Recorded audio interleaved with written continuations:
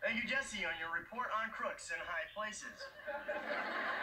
And now for a local weather forecast with Kelly Kapowski. Thank you. Leave your mini skirts at home, girls, because winter winds are here. cut it! Cut! But tomorrow you can slip back in your bikinis because we'll have sunshine at all local beaches. but beach too long because there's a 50% chance of